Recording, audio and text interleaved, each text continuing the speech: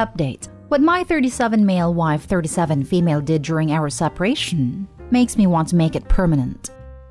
Original post My wife and I have been married for six years. We have no children. Last July, tensions were high between us. I'm an essential worker. I work the night shift and sleep during the day while she's at work. She was working from home due to COVID and was very loud. This kept waking me up and making me a very crabby person. So I was admittedly very short with her, and she was not accommodating to me at all. As a result, the time we did have together was very tense between us. It's normally a very happy time, but we weren't able to enjoy it at all. We made a decision to do a trial separation, both go to therapy separately and try couples therapy after a few months. As my company was frontline, they offered to put us up in a hotel so as not to risk our families. So I took advantage of this and moved out. I asked my wife for ground rules. My exact wording was, so that I understand this, are we seeing other people during this time? She angrily replied, if that's the first place your mind goes, then maybe it's not even worth it. I want to save our marriage, not give you an opportunity to go screw around. I apologized and assured her that I only wanted to understand where we stood. So, over the past year, I've been in therapy. I talked to my boss and got my shift at work changed to day shift because I realized that the night shift was really taking a toll on my mental health. I've learned to be firm, but open and communicative and not bottle things up. I honestly feel so much better about myself as a person. My wife and I started couples counseling at the beginning of this year, and it's been really great for us. We both were open about what was wrong, both recognized the faults that we had, and both committed to wanting to make things better. We made a decision for me to move back in next month and bring the separation to an end. During our most recent session, our counselor asked if I had completely broken off any relationships that I had during our separation. I replied I didn't have any relationships during our separation. We established ground rules that this wasn't about having fun with other people. It was about getting better for our relationship to survive. Then my wife replied, We never established that as a ground rule. I quoted her words back to her, and she responded, Well, I was letting you know that that should be your main focus. I mean, if you were just going to go fool around with random women and not try to improve yourself, then there was no point in trying to save things. I responded, So you were using weasel words to have things both ways. Did you date anyone? She unashamedly stated that she had slept with seven men during the past year that it was perfectly allowed, and I was free to be with someone else if I so choose. She stated that if I didn't want that, I should have clearly stated it.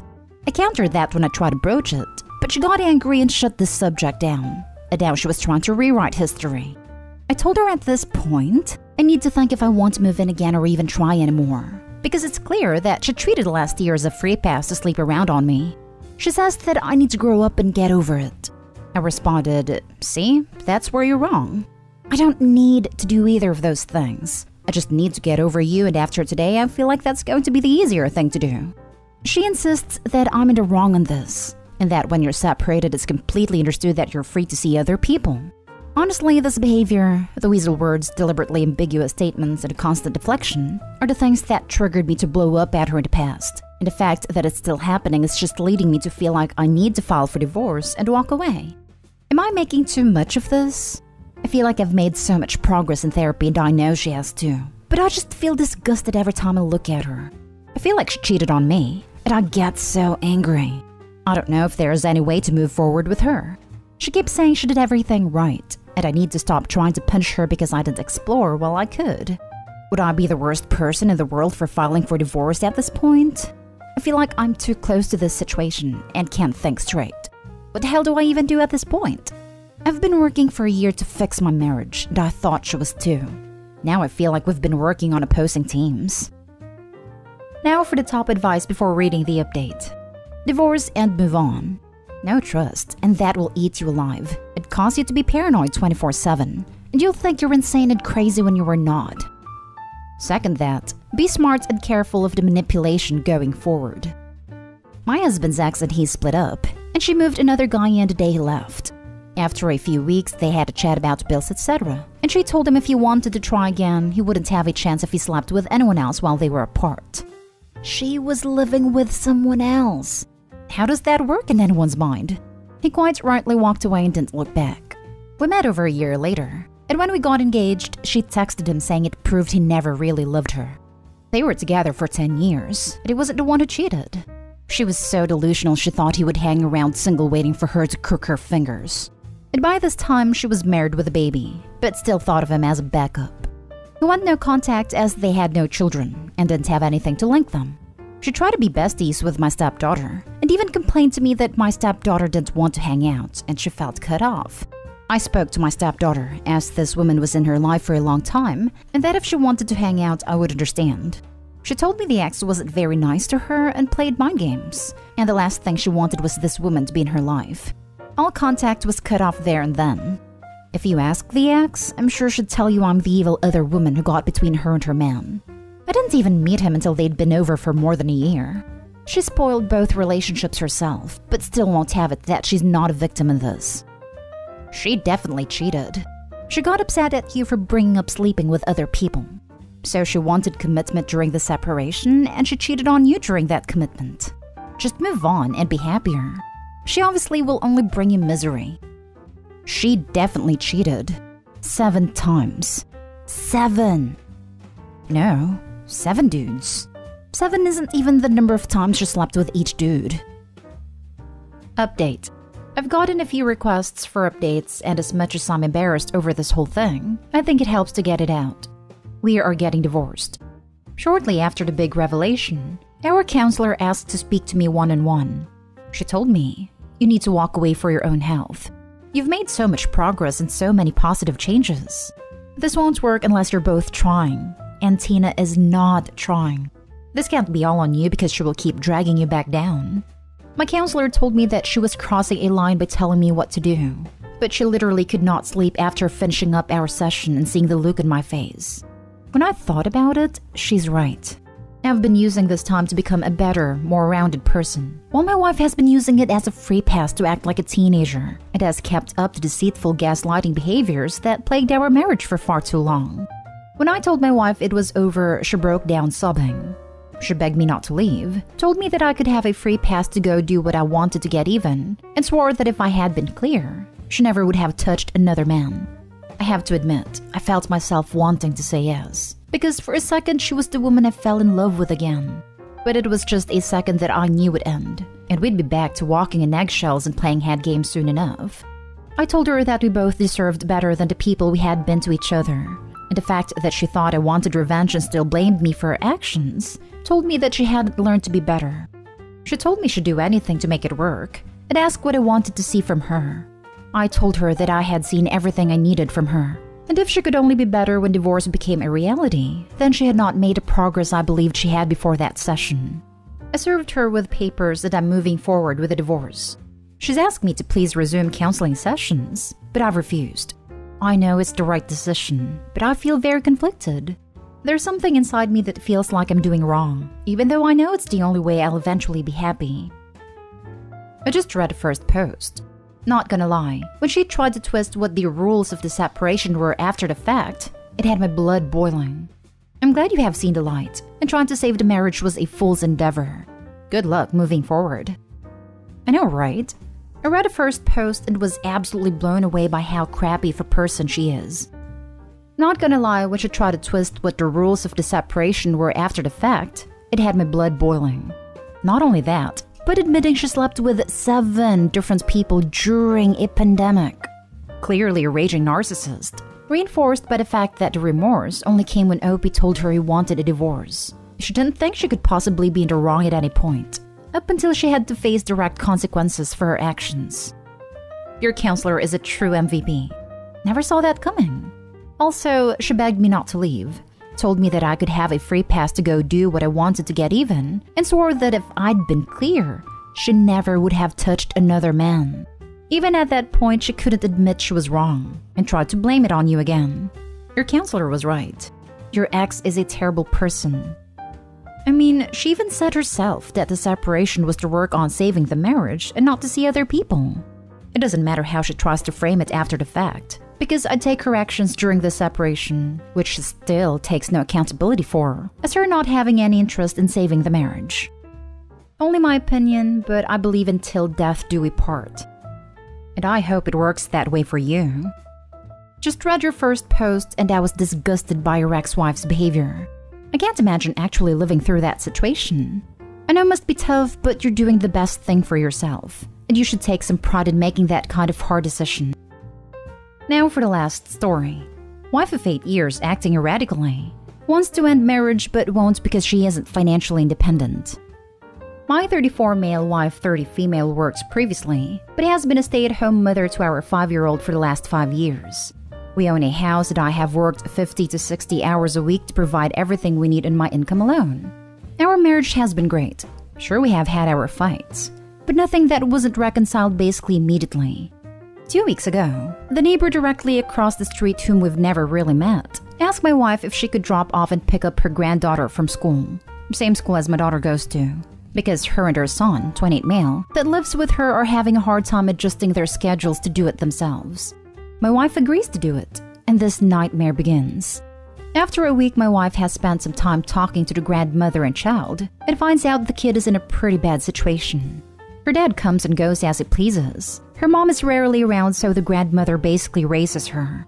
I've never met her dad, but from my home, I've witnessed him screaming at the kid and his mom in their driveway slash lawn. I watched as he threw all the kid's mother's belongings on the lawn at 3 a.m disrupts the neighborhood with loud music from his car whenever it comes and goes at all hours, drives erratically. I just don't get the sense he's an outstanding citizen. His mother also tells my wife he battles with depression and anxiety, which is the reason for his outbursts. Anyway, my wife tells me that she feels bad for the kid and doesn't mind watching her to get her away from the drama at home, and I agree. One night, my wife walks the girl over to her dad when he gets home and comes back to tell me the guy was yelling and berating both of them for reasons she didn't know. This past Tuesday, I get home from work at around 5 p.m. My wife says she's taking our daughter and the neighbor kid to get their nails done. Two hours later, I haven't heard from her, so I call and get no answer. This goes on for around 30 minutes, then she texts me and says she's meeting the girl's dad at the mall to give him his daughter. Because of him being aggressive toward them a couple days before, this gets me concerned, so I try and call again but get no answer. The mall isn't far, so I ride over to see if I spot them and they are not there. I drive around a little and spot my wife's vehicle in a different parking lot. I park and walk up, it's just her and our daughter inside. I get a deer and headlights look, and she immediately starts saying she's not happy and she's done with our marriage. She admits she had been walking around a mall with the girl's father talking, I get her to drive back home and things go further off the rails. She is flipping out, telling me I overreacted, and there was no reason to come find her. I tried to explain I was concerned because the guy was talking crazy to her in the past and supposedly struggles with mental health issues. And she tells me he never yelled at her the night she said he did. She told me that to throw me off and lead me to believe she wouldn't be around him. She eventually says she's going over to their house because she doesn't want to be near me and leaves my daughter and I at home. By this time, it was around 10 p.m. She never came back home until 5 a.m. The next few days are very strange. Wednesday started with everything calm and normal, but by that evening, she's telling me I'm not welcome at her family's Thanksgiving dinner, and she goes back to their house that evening for a couple hours. The time she does spend at home, she's on her phone texting him constantly and gets very defensive if I mention anything about the situation. Thanksgiving morning, everything is calm again and end up going to dinner with the family and the day's as normal as ever. Friday, we get up and go shopping for a while and have a great morning. On the way home, she says she's going out with a lady and her son that night. I push back, questioning why and explain how confused and hurt I am, and she basically doesn't want to hear it. So that night, I take my daughter to see a movie and to hang out with some friends and their kids afterward. Get home around 9, and my wife is home already, acting as if everything is normal. Saturday goes smooth, then in the evening, completely out of the blue, she tells me she wants me to stay somewhere else that night or she's leaving. Like an idiot, I tell her I will go, because deep down I don't want to send her out into the night going who knows where. She tells me to take our daughter with me. So I get a hotel room and try to play it up to my daughter as we are just having a fun night staying in a hotel, eating snacks and watching movies. When I got home Sunday morning, I sent our daughter to church with my mother in law, and we sat down to talk. She says she has felt unappreciated for a long time and has put her life on hold to raise our daughter. She is tired of it and wants to have fun and would leave if she had any income or a place to go, but can't go anywhere because she will have nothing. I tell her I love her more than anything, and I'm willing to do whatever I need to salvage what we have if it is at all possible. She says she doesn't know what she wants. She might just be going through a phase. I offer up the suggestions that from now on, no one is forced to leave the house Our daughter's sense of normalcy and home is prioritized, and I will stay on a different level of the house to give her space and privacy for the time being. She asks me if I'm willing to continue handling the finances the way we always have. We have a joint account, and she takes care of paying the bills. As far as the people across the street, she says they are new interesting people she's getting to know, who also have an interest in her and she enjoys their company. Apparently, the first night she went over, she painted me as some raving lunatic husband who was ready to turn the town upside down to find his wife, and they have no desire to meet me because of this. She tells me she doesn't have feelings for the dad. Last night, after our daughter went to bed, she went back across the street. I had to return to work from holiday this morning, so she texted me saying to let her know when I was leaving and she would come back over, which she did.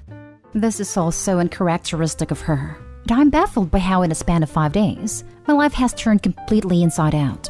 I want to work on our marriage and I'm willing to give her space to think, but it is destroying me inside to stay in a home with a woman who out of the blue wants to leave, but won't because she is not financially independent.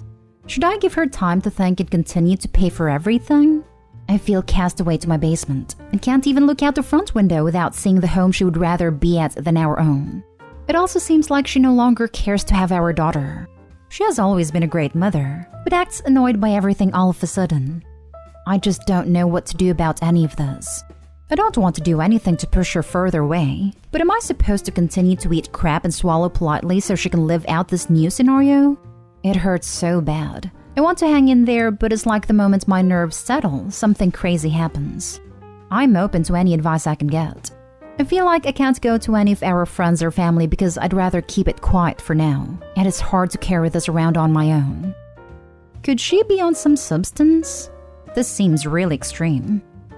That or she's cheating. I don't know why else should go on extended visits with the abusive dad, staying over at his house, hiding things from Opie. It sounds like substance use or an affair. For sure.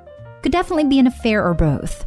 The reason I thought these is because the abusive dad's behavior sounds like the behavior of someone out of their gourd on it.